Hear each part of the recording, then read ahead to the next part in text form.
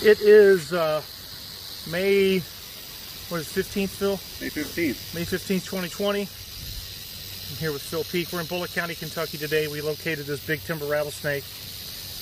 Uh, this is a quite a girthy snake.